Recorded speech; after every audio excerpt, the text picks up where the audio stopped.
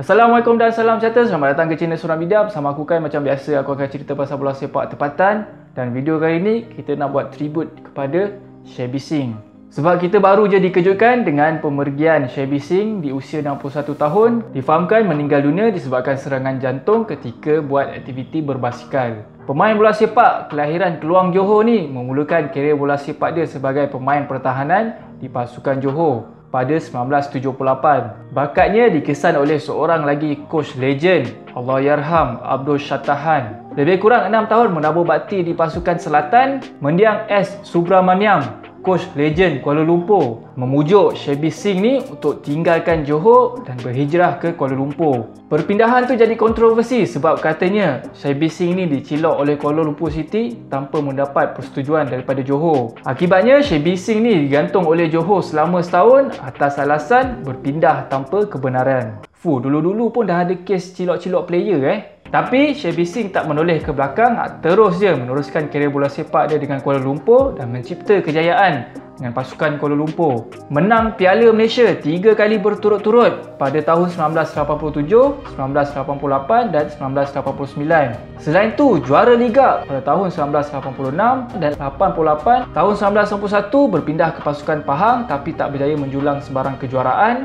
1993 kembali semula ke Kuala Lumpur dan berjaya menjulang Piala FA 2 tahun berturut-turut pada tahun 1993 dan 1994. Memang dia perform lah bila bermain dengan Kuala Lumpur. Ah, that's why lah dia menjadi legend di Kuala Lumpur. Di hujung-hujung kerjaya bola sepak dia di usia 34 tahun berhijrah ke pasukan Negeri Sembilan. Seterusnya berhijrah ke pasukan Perak pada tahun 1996 dan terus menamatkan kerjaya bola sepak dia sebagai seorang player di pasukan Perak. Bersama dengan pasukan kebangsaan Harimau Malaya, dia mula dapat call up bermain di Piala Presiden Korea Selatan pada tahun 1982. Lepas tu terus dapat call up untuk bermain di Sukan Asia 1982, 1986 dan 1990. Dia juga antara player yang membantu skuad kebangsaan mengutip pingat gangsa pada Sukan C 1985 dan pingat emas Sukan C pada 1989 di Kuala Lumpur. Last match dengan pasukan kebangsaan pada tahun 1991 masa Malaysia menentang England di Stadium Merdeka. So sepanjang bersama dengan pasukan kebangsaan Malaysia berjaya membuat 61 penampilan.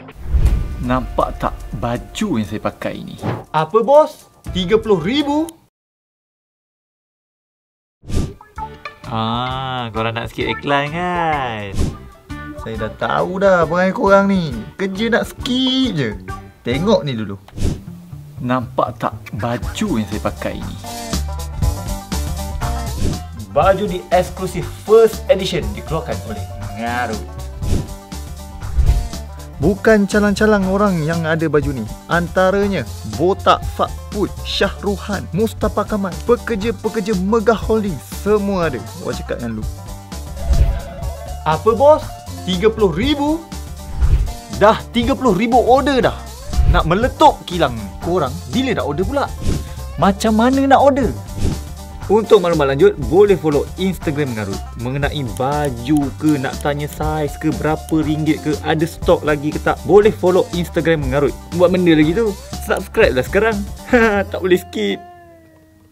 Aku memang bukan generasi yang sempat tengok dia main dengan mata kepala aku sendiri. Tapi aku generasi yang mengenali dia sebagai seorang jurulatih atau pekritik bola sepak. Sebabnya dia mula popular masa menjadi penasihat pada pasukan My Team, program reality TV bola sepak yang popular pada tahun 2006. Korang bayangkan, ah, time tu program TV ni kumpulkan player-player bola sepak amatur dekat seluruh Malaysia ni bentuk satu skuad untuk lawan dengan skuad Harimau Malaya, skuad kebangsaan di Stadium Bukit Jalil. Time tu orang memang palat ah dengan skuad kebangsaan. So my team ni kira mewakili perasaan rakyat Malaysia dan seluruh rakyat Malaysia mengharapkan my team ni berjaya menewaskan skuad kebangsaan. Tapi nasib baik ah Malaysia menang tipis je dengan keputusan 2-1 dengan player-player amatur my team ni.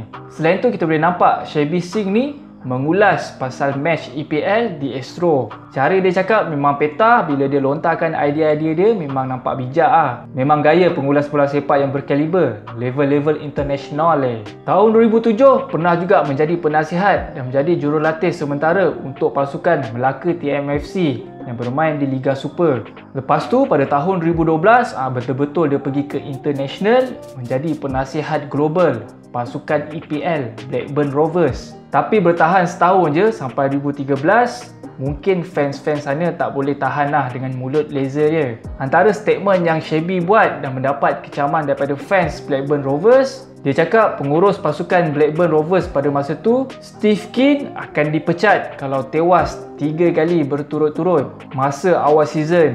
Disebabkan statement yang berani macam tu, dia dikecam oleh fans Blackburn Rovers dan kesudahannya dia memohon maaf kepada pengurus Steve Keane. Bila bab kritik pasal bola sepak ni, terutama bola sepak Malaysia, Shelby Singh antara individu yang lantang dan berani menyuarakan pendapat dia.